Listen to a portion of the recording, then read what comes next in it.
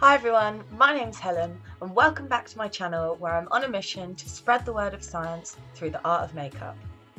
On this channel, I use my background as a chemist to test and review makeup and then let you guys know what I find.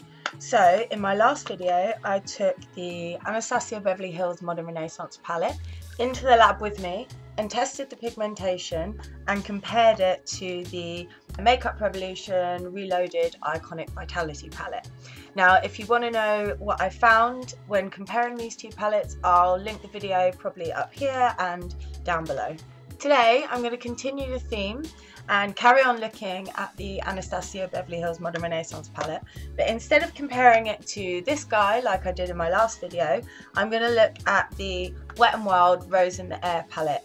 Now, the results that I found in the lab were slightly different, and so if you want to know which one of these two palettes is a better dupe for this very expensive eyeshadow palette, then please stay tuned. To test eyeshadow in the lab, I take a piece of filter paper, weigh it, then I get my NYX blending brush and I evenly coat the filter paper with the eyeshadow. Then I weigh it again so I know exactly how much eyeshadow is on the filter paper. Then I put it in a machine called a UV vis spectrometer. And if you want to know how this works in more detail, I made a video about it and I'll link it up here and in the description box below.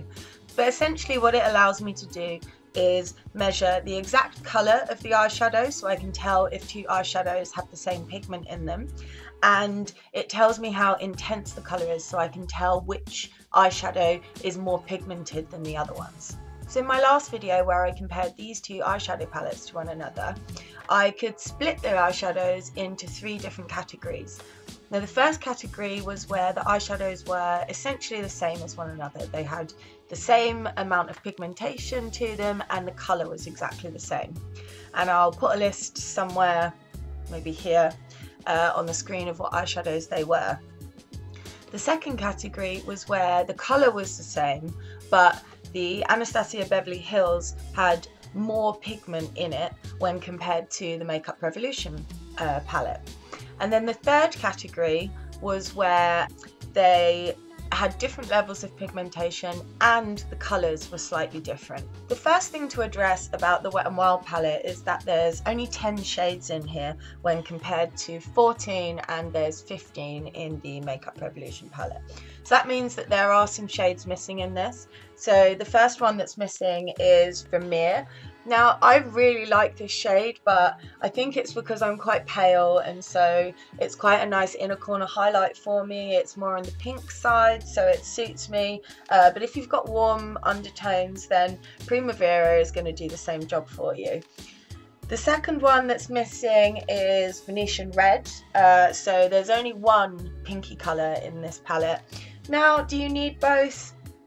Not really, but I prefer Venetian Red to Love Letter, although you could probably mix in a little bit of red, uh, of red, the red ochre dupe to this and get something that looks a little bit more like Venetian Red. The third one that's missing is uh, Golden Ochre. Now, I don't miss this at all. I barely use it. I think I used it a little bit at the beginning when I was still learning to blend better.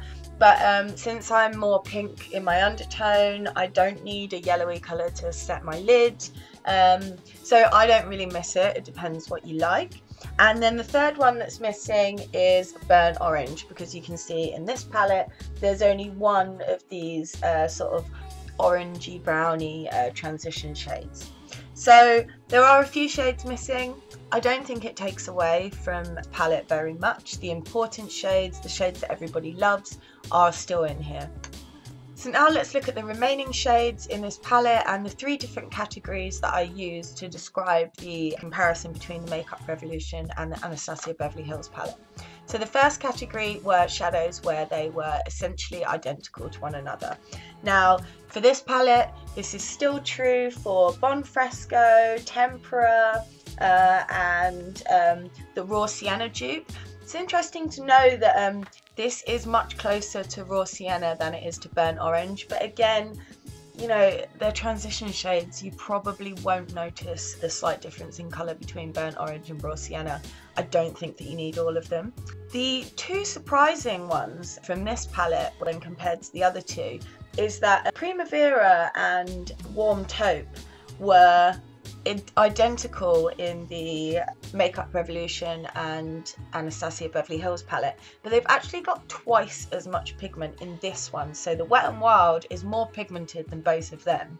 Um, you probably won't notice it with the warm taupe dupe because it's actually pressed quite hard and you have to work quite hard to get powder out of it so it'll probably perform exactly the same as the other two and well, this is just a great shimmer and it is the best out of all of the three palettes.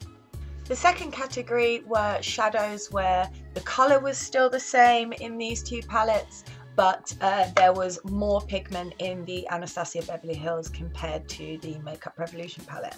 Now, this was pretty much the same in this palette. Antique Bronze, this guy had the same colour and had the same amount of pigment as this, so still less than the Anastasia Beverly Hills palette. And the same for Realgar and Cyprus Umber.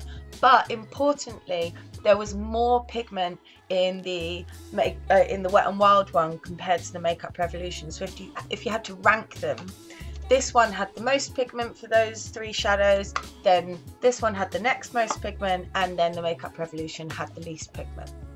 So now the final category, and this was where there was actually a difference in the pigment that's used in the Anastasia Beverly Hills compared to the Makeup Revolution palette.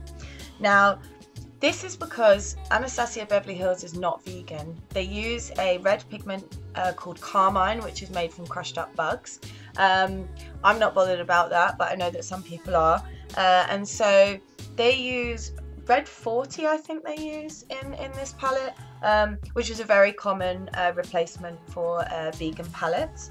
But what I found is that the the Makeup Revolution one, it's just far pinker um, than than in the Anastasia Beverly Hills one, and this one is like it's kind of got little purple undertones to it, and I prefer it as a colour, but it is a personal preference. Now, Wet and Wild do use carmine, so they don't have Venetian red, as we talked about earlier, but their love letter dupe and their red ochre dupe were almost bang on for the uh, Modern Renaissance palette. Slightly less pigment in here, but I just don't think that you would notice uh, the difference between uh, these two palettes unless you were absolutely desperate to have Venetian red. Bringing this all together, I would say if you can afford it, go with the Anastasia Beverly Hills one. A lot of love and care goes into making these palettes and for the majority of the shades there is more pigment in these guys, especially in the darker colours uh, where it really does matter what the pigmentation level is. If it is out of your price range, uh, and you can cope with there being a few missing shades or you're not bothered about the shades that are missing, uh, then I would go with the Wet n Wild palette. It um, sometimes has more pigment than the Anastasia Beverly Hills palette with the warm taupe and the Primavera dupe.